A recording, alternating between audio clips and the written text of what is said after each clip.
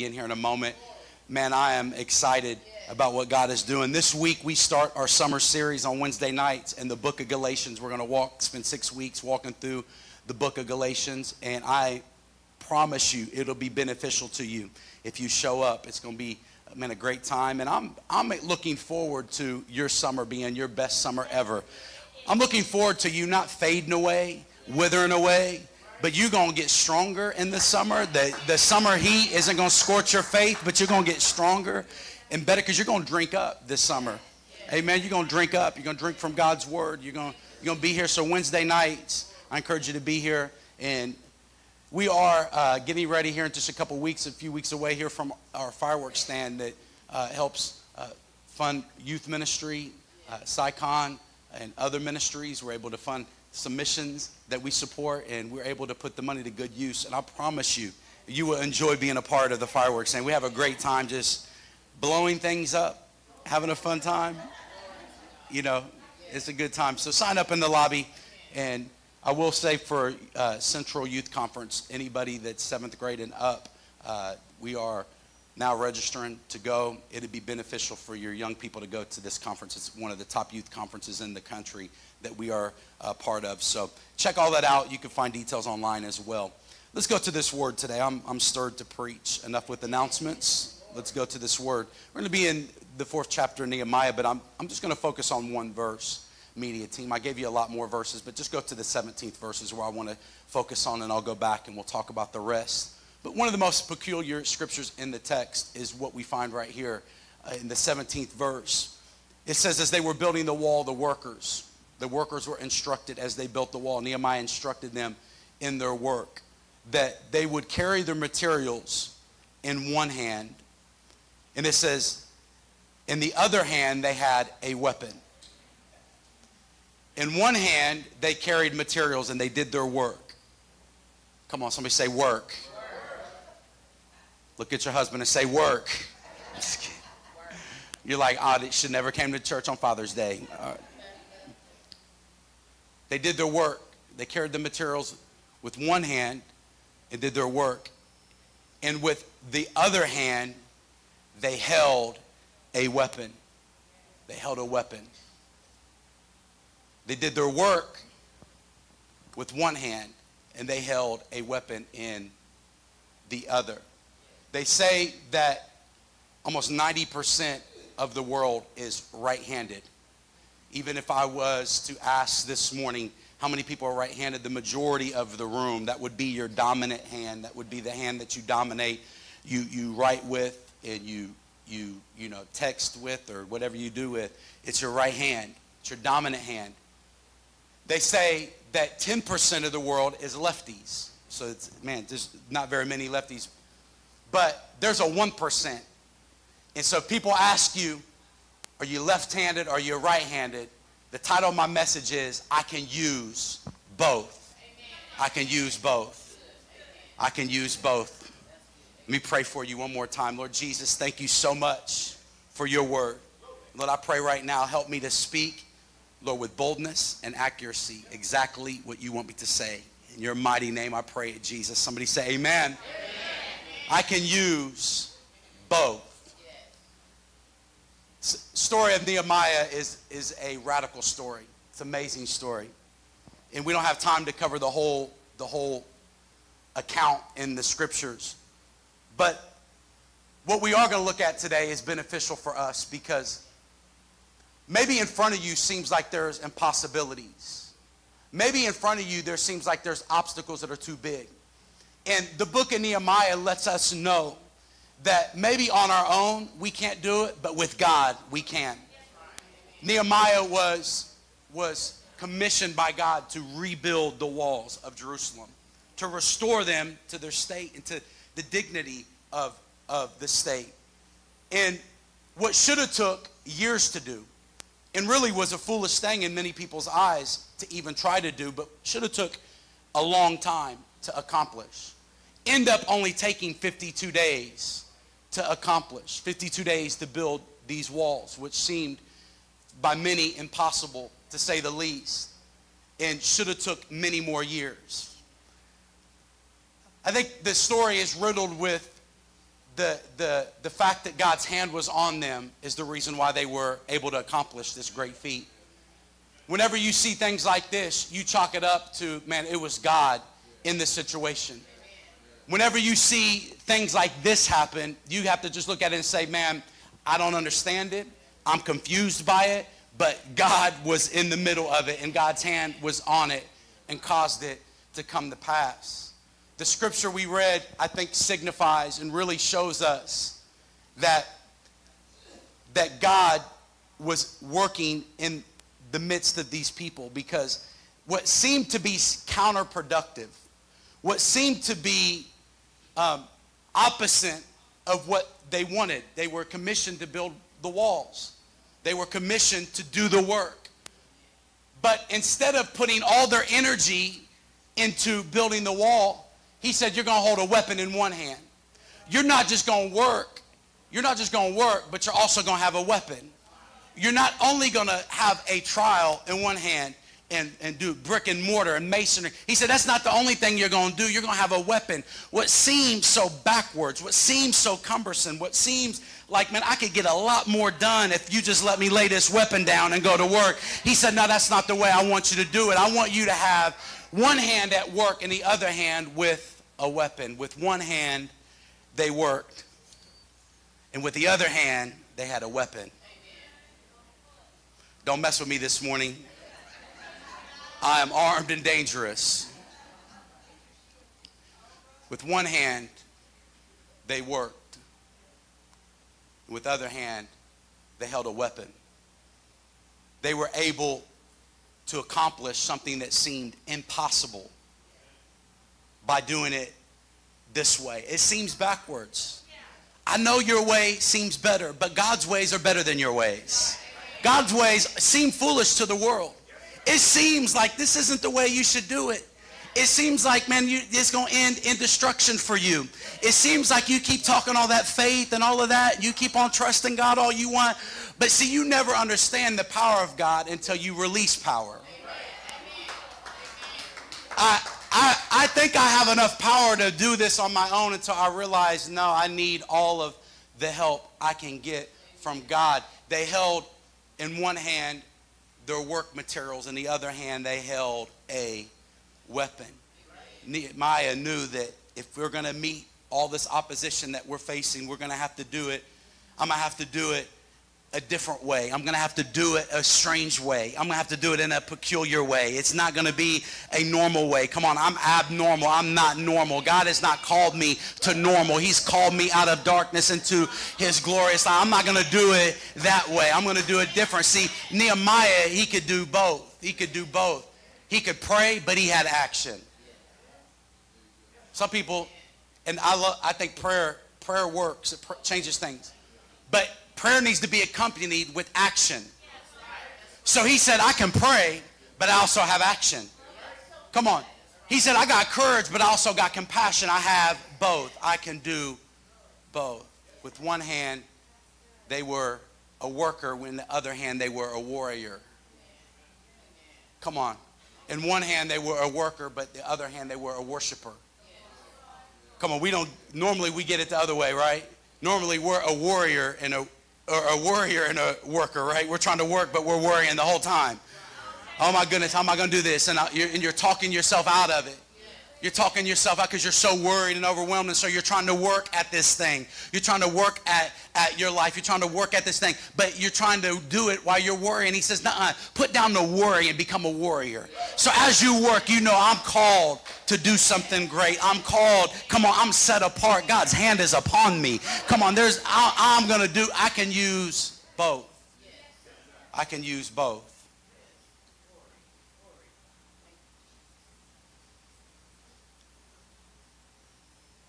What do you do when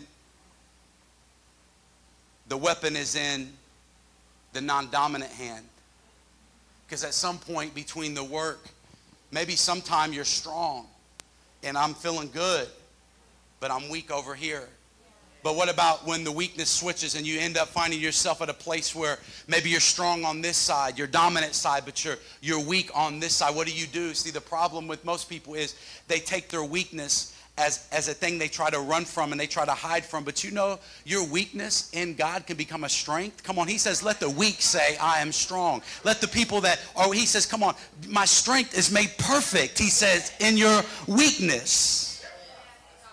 What do you do when your non dominant hand is the hand now that you're trying to work with, or you're trying to be a warrior with, and you feel insignificant? You feel unable, you feel inadequate, you feel overwhelmed. Have you ever been there before church? Come on, you feel outmatched. What do you do in these moments? Can I just tell you something? Don't abandon God in your weakness. Come on, don't abandon God.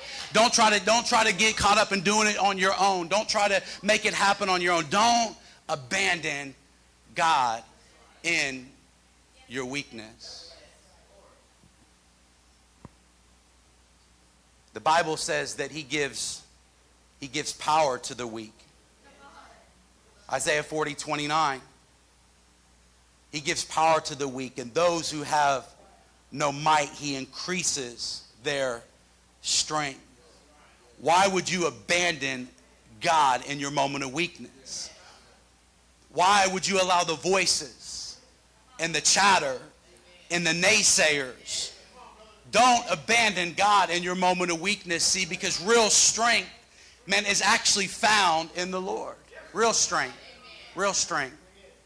Real strength is found in the Lord. Isaiah 41:10 says, Fear not, for I am with you. Be not dismayed, for I am your God. I will strengthen you. Yes, I will help you. I will uphold you with my righteous right hand. I want to talk about this just for a moment. This, this right hand. The righteous right hand of God. See, in the Old Testament in Leviticus, when the priest would use the anointing oil, they would hold the oil in their left hand, it says in Leviticus. They would hold the oil in their left hand and they would dip their fingers in it with their right hand. Leviticus 14, 16. And they would, they would hold the anointing in the left hand. I want you to catch this. The anointing is in the left hand. Let me just say like this the anointing is in the weak hand. See, where you want the anointing, you got to realize it's in the weak place. It's in the place. You might not be strong here. You might not. This might be a place you feel outmatched, but the anointing is actually in the in the non-dominant hand. The anointing is in the place. See, you thought you have to be. You got to be strong to be anointed. He says, no. The weaker you get, the stronger you become. The more you realize, I ain't nothing without God. I'm weak without God. I'm lost without God. I'm I'm weak. He says that's where the anointing is found. That's where he says that the, the priest, it would be in their left hand. It would be in their left hand.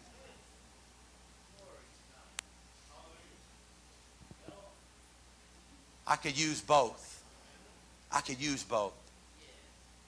See, when I when I get under the anointing, you get under the anointing, you now you become different. You become the Benjamites in the Old Testament, the tribe of Benjamin they were known, there were warriors within that tribe that they called them left-handed, but you got to you got to study this. They were left-handed, but actually they were they were what was called uh, ambidextrous. You know what that means? Where you could use both hands. That they could use both hands. And when the power of God would come upon them in Judges, it says that among them there were some soldiers in Judges 20 that that there was a select troop that when the power of God was on them, they were left-handed and they could sling a stone at a hair and not miss. That's some precision. As a, like you could, like some of y'all ain't got much. You're with me. I'm like, hit me if you can. If you could get one, get it. But it says that they had such precision, they had such precision and accuracy with their left hand. They're non-dominant hands. See, they say they were left-handed, they were ambidextrous. That means, because really, it's, it's silly when you think of even left-handed, right-handed. Basically, they just say for people that are ambidextrous, they have two right hands. They're at the place where now my left hand, which should be weak, is not weak anymore because the enemy thinks you're weak there. Oh, they're weak. They got their, they're using their left hand, but he didn't realize there's a power that comes upon you. I'm so strong when I could use both. I can I can use both. I can I can use I will I will take a devil out. Right-handed, left-handed. I'm coming. I can use both. This scripture we read is amazing in Isaiah that he will uphold us with his righteous right hand. The Bible tells us that Jesus is seated at the right hand of God the Father. We know that, right? He's at the right hand of God the Father. And we are seated. We are next to, we are next to Jesus. Is that correct? We're next to Jesus. He's seated at the right hand. Come here, Tevin. It's so good to see you this morning. Can I, can I use you for a minute with them cool J's? Can I get them J's from you? Come on, come up here. No, I'm just kidding. Come on, come up here. Come up here. Come up here. Come up here. He's ready.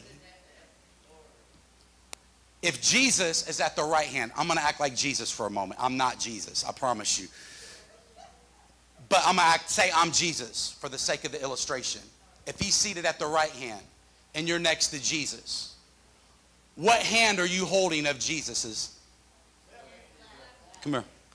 What hand are you, what hand are you using to hold his hand? You're using your left hand your non-dominant hand. See, some of you, you want to get some work done. You want to, you want to, man, you want to serve God. You want to be bold for Jesus. See, you need to know which hand you need to have hold of Jesus. See, your left hand, your non-dominant hand, your weak hand. You need to keep your weakness attached to Jesus at all times. Come on. Don't let your weakness get out on its own, trying to do it on, get your weakness connected to him. He says, I'm holding you with my righteous right hand. His right hand is holding your left hand. Your left hand. You're hell. You're hell. See, the enemy, what he wants you to do is he wants you to let go. He wants you to let go. Go try to work on your own. Go try to make it happen on your own. Go try to succeed on your own. Be success driven. Be, be, you know, about what you want to be about. Don't trust God. Don't pray. Don't seek God. Marry who you want to marry. You're young. Live with some of you out here, you young bucks in the room. You're like, just live how you want to live. You'll figure it out when you get older. Nuh-uh. Life will come at you so fast. Come on, your world can change in a moment like that. And what you have to realize, you got to stay connected. He says, I want to hold you with my righteous right hand, but it's connected to the area you're weak, your non-dominant hand. Thank you so much, Kevin. He says, I'm holding you. I'm holding you. I'm holding you up. I could use both. See, this sword wasn't for their victory. It was a reminder who's fighting. I'm going to show you here in a moment who, who is fighting for you. Who is fighting for you? See, when you are when you use both, you become armed and dangerous, y'all. I'm equipped to handle business. I'm equipped to make changes. I'm equipped to do what God's called me to do. What are you armed against? Why do you need to be armed and dangerous? This is the reason why. Because you become armed against discouragement. You become armed against discouragement. See, as they were working, discouragement tried to set in. As they were working, there became those who came against them in such a way that they would speak things to try to discourage them. Have you ever had anybody try to discourage you from doing something? They try to ask, why are you dreaming like that? Why are you believing like that? You a nobody. You from Topeka. You, you're nobody. You ain't ever, you never going to get into college. You're never going to do this. You're never going to, oh, you ain't never going to get promoted. You always going to make minimum wage. You're always going to be here. But when you use both, you become armed against discouragement. See, as they were building the wall, there became discouraging voices. And this is how you know you're in God's will because discouraging voices will begin to come around and try to talk you out of your destiny. And there was a there was a couple fellas that made themselves known to the people. Sanballat and Tobiah. They boy they they like to run their mouth. They like to talk trash. Sanballat, which really, I mean, his name is should have got him the one being clowned, but I mean, we'll just leave it. Like his name is terrible. Like you want to talk trash, but your name is Sanballat. Come on, dude. And so Sanballat and Tobiah, when they were they would talk trash, but look what they would say in the in the the first through the third verse. They would they would say things like, "Man, look at these poor, feeble Jews. What do you think you're doing? What do you think? You think you can build a wall?" In a single day? You think you can you think you can do this? You really think you think you could take something from this rubbish heap? Some of you are like that's what's been talked over you. Your life is a mess. You you know what you've done. You know how you used to live. You used to be on drugs. You used, you used to act this way. You used to act and what people try to do is they try to discourage you and they would mock they would mock them. The third verse, Tobiah jumps in Dumb and Dumber, right here. He was standing beside him and he remarked that stone wall would collapse even if a fox walked along top of it. They were trying to discourage the people of God. The enemy uses a weapon of discouragement, and a lot of times it's effective on God's people. They become discouraged. They listen to the voices. They listen to the chatter. They listen to the hate. And if you surrender to discouragement, what you're doing is you're robbing yourself of the hope and the joy that you have in Jesus. I mean, it's hard to keep your spirits up when people are trying to beat you down. That's why it's so vital to have be working with one hand and a weapon in the other. That you stay focused. I know what I'm about. I'm about my master's business. I'm about what he's called me to do. And I'm staying encouraged because I have the sword of the Spirit in my hand. I got the word of God available to me to keep me encouraged. Nobody else wants to encourage me. David said, I'll encourage myself in the Lord. All, everybody around me isn't for me. It's all good. People at my job is against me. My family ain't for me. Get serving the Lord. I'll encourage myself in the Lord. I will encourage myself. I got to show you this. I got to show you this. Nehemiah 6 3. I love this. This is the way you deal with haters right here. This is the way you deal with them. Nehemiah, when he knew that these guys, Sanballat and Tobiah, were scheming, he said, I sent a messenger to reply. He said, I replied to them through a message. He said, I just replied and said this I'm carrying on this great project and cannot come down and stop doing the work that I've been called to do. He said, I'm not coming down off of this wall to you. Some of you let this seem to be, you need to stop trying to defend yourself to everybody. You need to stop coming down to their level. Come on. You need to stop. He says, I'm not coming down off this. I'm not getting down to your level. See, that's what happens. You let some foolish folk get around you. You let some people start and you come down to their level. I'm above that. I'm not even coming down to that. I'm not coming down to your pettiness. I'm not coming down to your drama. I'm not coming down to it any longer. I'm above that. I'm above your dysfunction. I'm above that. I'm not coming down from what God has called me to do to get mixed up in your pettiness. To discourage. He says, he says, I'm busy. I'm, I'm, I'm not coming down to deal with you. Some of you need to let the devil know I'm busy. I'm not dealing with you any longer. I'm not, the only thing you hearing from me is shut up, devil. That's the only thing you hearing from me, and I'm done. I'm not, I'm not conversating with you. I'm not talking to you because for one, you're not on my level. You're under my feet. So I'm not talking to you any longer. You're down there. So shut up.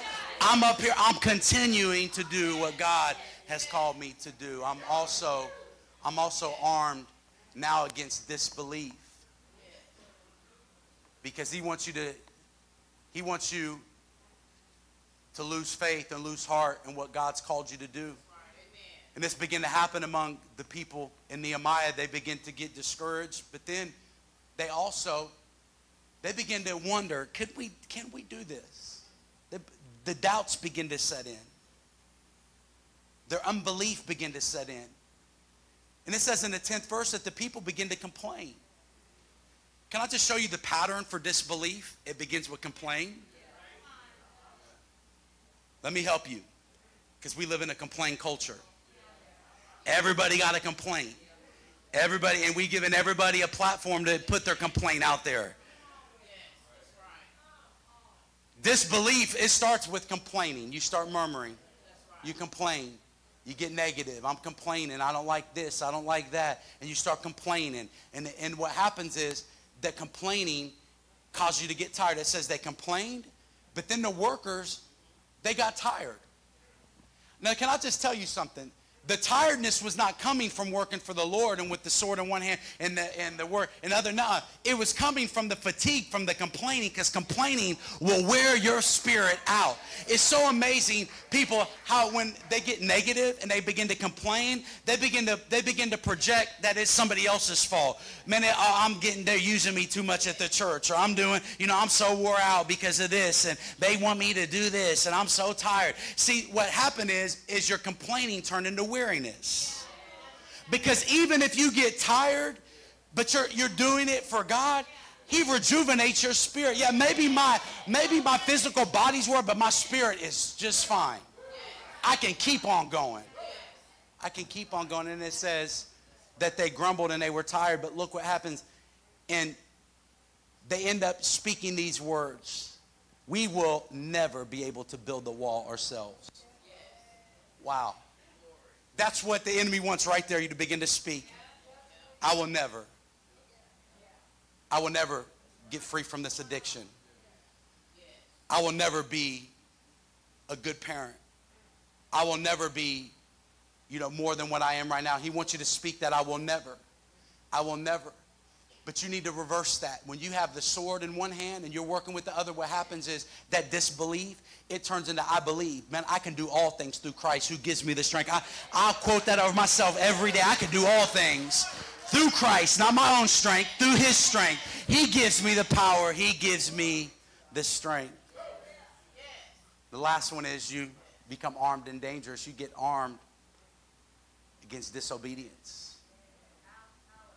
This is the reason why obedience is important.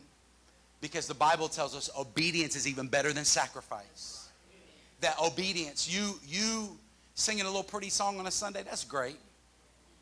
I'm worshiping the Lord. Uh, you am here singing loud. But you know what? You actually being obedient to what God has spoken to you is actually better than any song you sing. And when you use both, your right hand, your left hand, what happens is you become armed against disobedience and you now get to a place to where you're not you're not refusing to go what God's God's will. You're not refusing to to to to, to try to do it on your own. You're not refusing his plan. You're saying, God, I, I'm doing it your way. God, I'm doing it the way you've called me to do it. See, disobedience and rebellion, it causes the glory and the hand of God to, to depart from your life. Disobedience does. That rebellion, even in scripture, says is like witchcraft. That when you get a rebellious spirit and you turn your ear off and you only want to hear that's why sometimes it's hard for preachers because we like man we want to preach what they want to hear. I want amens. I want good i want people to be excited about it. I want and then you say uh, you know god said preach something that maybe will offend them. You know good preaching is supposed to offend your spirit it's supposed to offend your flesh. I should say, it's supposed to get you like, man, I'm uncomfortable. I know I need, eh, and it shouldn't condemn you, it should convict you. It shouldn't condemn you, make you feel worse about yourself. It should convict you to say, man, I can, I'm better than this. Jesus is calling me to more. I'm not going to stay in my rebellion, stuck right here. I'm getting up on my feet and serving God. I'm tired of doing it my own way. God, I'm giving myself over to you.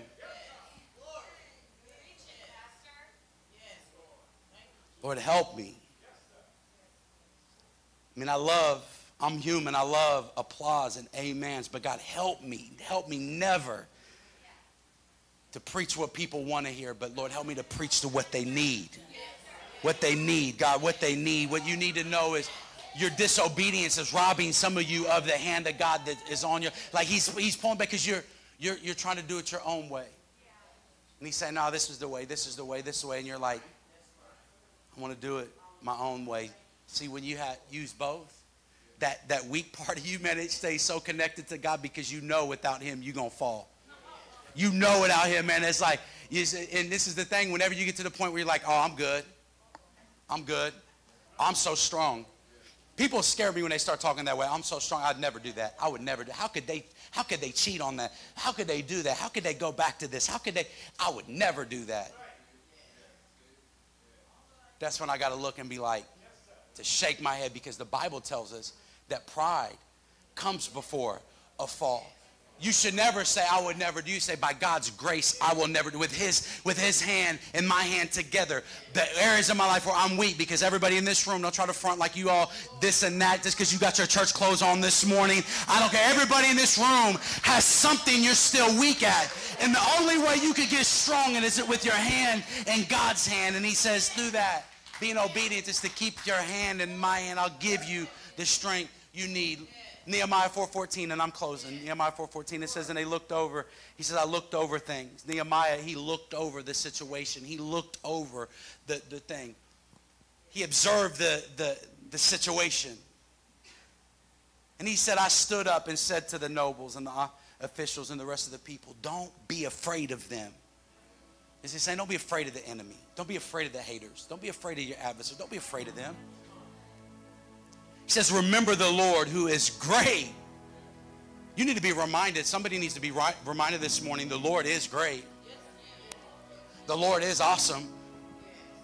We attach awesome to a lot of, but to a lot of things.